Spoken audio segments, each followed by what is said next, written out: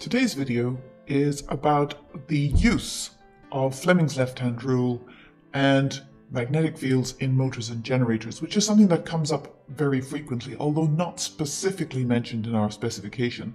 It's an application of several of our specification points, and I thought the best way of illustrating this was to use a motor that was actually given in a question, and then work our way through. I'll explain First of all, if it's used as a motor, and then if it's used as a generator, and we'll look at a couple of questions that involve the use of motors. So, the laws that we're going to be applying here is this one, F is equal to BIL, and of course there's a sine theta in there if it happens that the conductor is not perpendicular to the field, which is not the case here, so we can ignore the sine theta. And then Faraday's and Lenz's law, which is that the EMF generated is equal to minus dn phi dt. So let's start with the motors. And I'm going to label this diagram to help explain. First of all, let's add in the magnetic field lines. So the magnetic field lines are running across like this, and remember from north to south. So when you use Fleming's left-hand rule, which of course you're going to have to use here, remember that your first finger, your index finger, points along the direction of that field from north to south, the same direction that the arrow is in. I'm then going to label the sides of my coil here, side A and B, and this is always a great idea when you're answering a question because then it makes describing what is going on much easier. And we'll call the other side CD. And let's put some current through this coil. So the first thing we're going to do is look at a motor. And of course, with a motor, you supply the current, you supply the field, and you get the force on the wire on either side. So our current is going to run this way. One thing to note, the side BD here, we've got current running along the side BD, but it is parallel to the field lines, and therefore we're not going to get any force because of course the angle between the current and the field is zero, meaning that F is equal to BIL sine theta, that all multiplies up to zero, so we get no force. So we don't have to worry about those sides. Now let's focus on side AB to start with. If we apply Fleming's left-hand rule, pointing your index finger to the left, remembering towards the field is a little awkward, the second finger points in the direction of the current, so that your middle finger points in the direction of the current, and then your thumb points in the direction of the force, which means we're going to experience a force upwards there. And if you do the same thing to the side CD, you'll see you experience a force downwards on the other side. Now that force is perpendicular to the field, because with Fleming's left-hand rule, we have three perpendicular quantities. The field, the current, and the force. And a motor is designed so that it is perpendicular and you get a perpendicular force. Now what this force is going to do is cause a moment around this axis. And we're going to get the side AB moving upwards and the side CD moving downwards. The only problem is that's as far as it's going to go with the current running in those directions in the wire. And of course, we want the motor to continuously spin. So what we do is we add in, and this should be familiar to you from GCSE, what's called a split ring commutator down on this end. And the split ring commutator just allows the current to reverse every half turn. And so what happens is once the side AB gets up to the top, up here, the split ring commutator changes the direction of the current and then causes the current to move in the opposite direction. So by the time AB gets to the top, the current then switches to the opposite direction on each side. And of course, when it's in the opposite direction, it experiences downward force until it gets right down here to the bottom. And then the current switches again, it experiences an upward force, and you get the continuous spinning. So that's how the motor works. Let's look at this in terms of how it would work as a generator. And what I've done is I've removed all of, of the extra information, but left the field lines in because the field lines are very important. And I've added up here a little handle. The handle is just there to represent that something must turn the coil, so you're not actually providing current here. What you're doing is you're turning that coil physically, and usually it is connected to something like a turbine. So think of a wind turbine, for example. The wind turbine would be physically attached on the end of that axis, and the wind turbine is what would spin the coil. Now, most commonly, wind turbines are actually attached to magnets, and the magnet spins inside a coil, but the effect is the same because it's relative motion between the field and the coil. Let's look at this particular example. So, something spins that coil. If we look at the flux linkage, so at the moment, there is actually no flux linkage with this coil. None of the field lines are passing through the area of the coil. The area of the coil being that shaded area in green there. So at the moment we've got no flux linkage, but imagine when you spin it what happens when the coil becomes vertical and it is totally perpendicular to those field lines. Then you're going to have maximum flux linkage up here. So as you spin the coil, you go from no flux linkage right here to maximum flux linkage, back to no flux linkage, and so on. So as it turns, there's a change in the flux linkage, and that's the key to electricity generation, a change in the flux linkage. And of course, the change goes from zero to maximum and from maximum to zero, so we get an opposite change every quarter turn of the coil. And that means, of course, that we're going to get an AC EMF induced in this coil. And that is what in, is induced, remember. It's EMF that is induced. If you then make this a full circuit by putting a bulb in there and connecting it all with wires, then you're going to get a current and the bulb will light. And we'll come back to all the details that go with that later. Something that's very helpful to look at is to try and graph what your flux linkage might look like. So if we put flux linkage and time, it could just as easily be flux linkage against the position of the coil. When the coil is horizontal, and let that be our starting position, we've said we've got no flux linkage. And then after a quarter turn, when it's maximum, we've got our maximum flux linkage. It comes back to zero when it goes horizontal again, and then it comes back to maximum but in the opposite direction, and so on. So we end up with a flux linkage graph like this.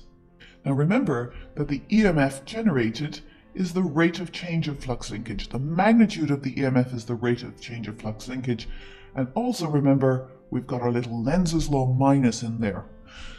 So let's focus on rate of change of flux linkage. As you know from your studies in mechanics, that the rate of change of flux linkage is going to be the gradient of the flux linkage graph. So if we look at the gradient of the flux linkage here, we can see very clearly what the magnitude of the EMF would be. So you're going to have maximum EMF here at the start and zero EMF because you've got zero gradient there. Let's see if we can plot that on a graph. So using the same axes, we know that we're going to have a max value when the n phi is zero. But remember the negative. So although we have a max positive gradient here, we're going to have a max negative EMF going to zero, going to max ne negative gradient but max positive EMF at that point, back to zero again, and then back to max negative. So our EMF ends up looking like that. What this tells us, and something that is quite difficult for people to visualize without a graph like this, is that when the coil is horizontal, the axis of the coil is parallel to the field lines. That's where you get your maximum EMF being generated. Because that's where the rate of change is greatest. Basically, our N phi or flux linkage is zero, so any movement of that coil leads to an increase in n phi, and therefore that's the greatest rate of change. When the coil is vertical, the side of the coil is basically moving parallel for a moment to the field lines. So the movement produces very little change in the flux linkage, and so that's where our EMF being generated is zero, just as we confirmed by using the graphs. So the graphs are a really nice way to remind yourself that when our n phi, when our flux is at a maximum, when our coil is vertical, our EMF generated is actually zero. Also remember that your coil is undergoing circular motion here, and so you might have to figure out the time that it takes to go from zero to max using your circular motion equations. And also remember that there is a moment of the coil about an axis, so again, it could be linked in with the moments question.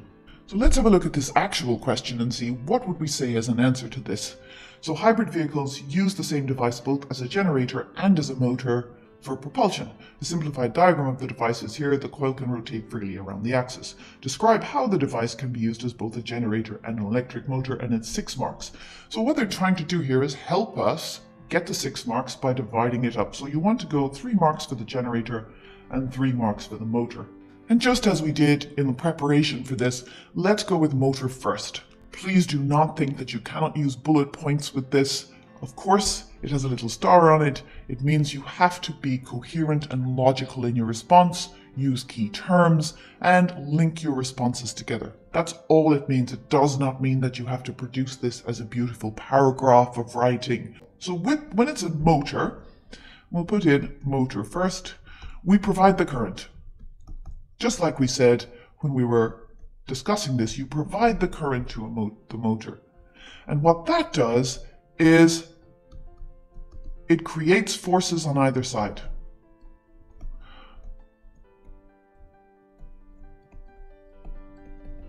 And in fact, I would go as far as to go put in your A, B, and C, D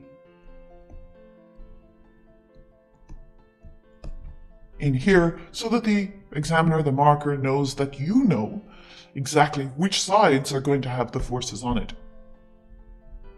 Those forces are perpendicular to the field, and I'm just going to use shorthand here. You would have to obviously write this out in an exam. These forces produce a moment around the axis. So the motor spins.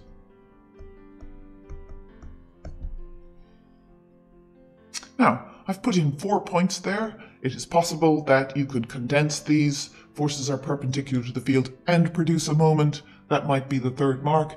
But in any case, because I've thought through it logically and I've separated my points out, I'm going to get the three marks for this because I have said everything that needs to be said. Now, what about the generator? Well, in this case, instead of providing current, we provide the motion. What this does is it changes the flux linkage with the coil. And any change in flux linkage induces an EMF, and this is where the key terms come in. It induces the EMF. And that word inducing is important, and the fact that it's EMF that's induced is important. We're not talking about current at this point because if you look at that diagram, it doesn't actually have a full circuit on it, so current is not relevant. The magnitude of the EMF depends on the rate of change of the flux linkage. That's pretty much both motors and generators in a nutshell.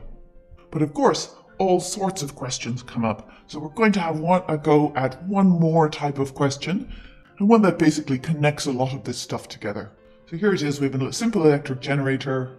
Here's our graph, the variation of EMF with time t.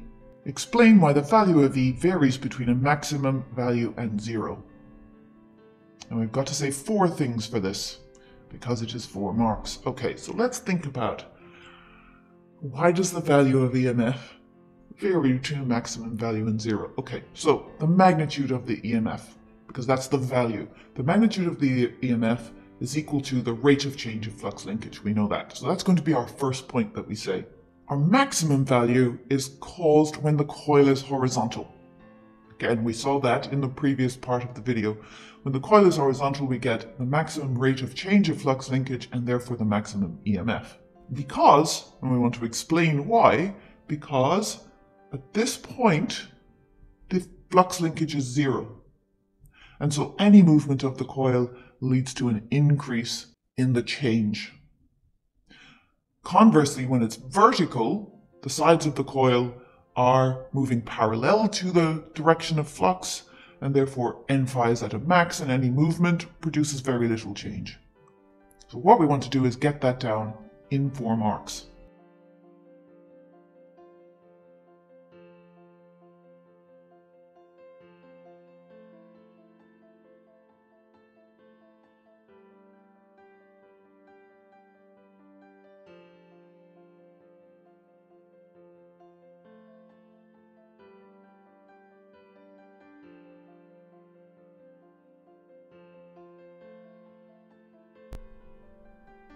Again, the key to exam technique here is to stop for a second, have a think, count out the four points that you want to make, and make those four points.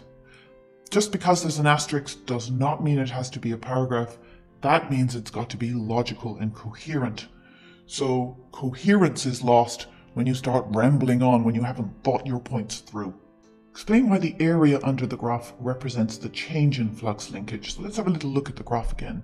The area under the graph, and I'll just put in the area for a quarter turn because that's where it goes from max to zero. The area under the graph, just like any area under any graph, is y times x. So that's going to be e multiplied by t, or in this case, the change in time. And that's what we're going to be writing down. Now we know that EMF, just magnitude, we're leaving out our negative sign at the moment. And if we cross multiply that, then we get, and of course that is equal to the area, and so that explains why change in flux linkage is equal to area. Then we have a straightforward calculation. We want the magnetic flux density, which is B. That's our N, and that's our area. Now, remembering that phi is equal to BA. So then we know that EMF is equal to dNBA over dt. And again, there is a minus in there, but in this case, we're trying to find the magnitude of it, so the minus just tells us the direction. It's not really relevant in this point. So we know what n is. We're looking for b, and we know what a is. So basically, we need to then find our area under the graph so that we get this, this, and this, so we can find b. And because we've just said the area under the graph is e dt. So let's have a look at the area under the graph. And again, we're going to do it for a quarter turn because that's where it goes from maximum to zero. So that's going to give us our total EMF. And to find the area under the graph, we need to count squares, knowing that each square is 2 volts times 1 times 10 to the minus 3 seconds. So 2 times 10 to the minus 3 volt seconds. There's 1 two, three. Effectively, that's four. That we can count as one, five. Now let's have a look at the others. This one plus this one up here would be another one. So that's six, and that's a half a square. So we're going to say 6.5 squares altogether. 6.5 squares, each square is 2 times 10 to the minus 3. giving us a value for the area of 0.013. So now we've got this. Now all we're doing is substituting in and finding a value for b. When you're substituting in, do not rearrange your formula first, because there is a substituting mark. And if you incorrectly rearrange your formula and then substitute, you will not get the substitution mark. You substitute and then rearrange, and even if you do the rearrangement incorrectly, you still get the substitution mark.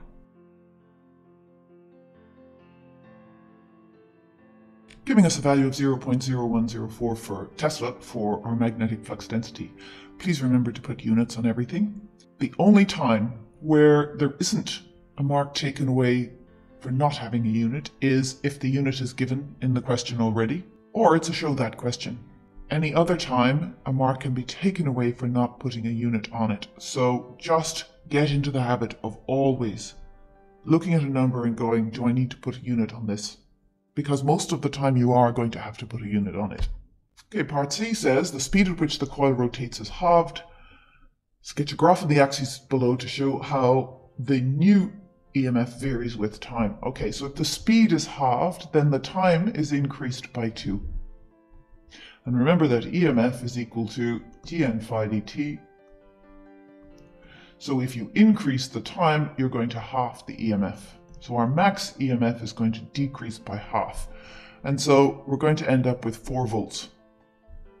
Now obviously, it's now going to take twice as long to spin. Instead of it taking 2.5 seconds to get to zero, it's going to take 5 seconds to get to zero, and then 5 seconds to get to minus 4, and 5 seconds to get to zero again. And so our graph is going to end up looking like that. So make sure that you have made it clear that you know it's 4 volts, and that it goes from 2.5 to 5 seconds. A force is required to rotate the coil. So that's when you turn the handle or something turns the handle.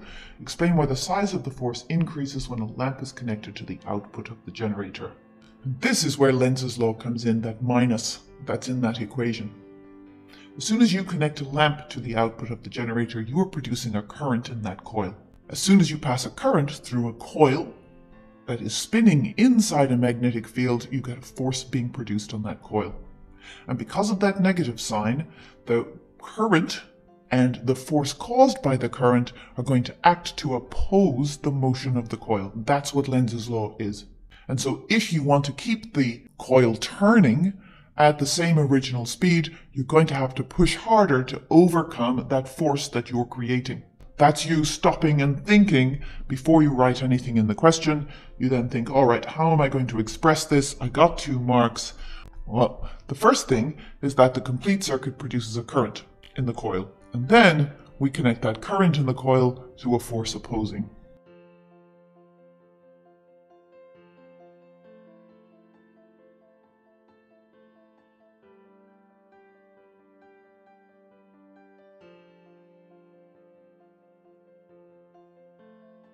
Because it's only two marks, the amount of detail that we need to go into in order to explain that is not as great. In my next video, I'm going to do a question about induction, where it specifically asks you to reference Faraday's and Lenz's law to explain, and I will go into more detail on that in that video.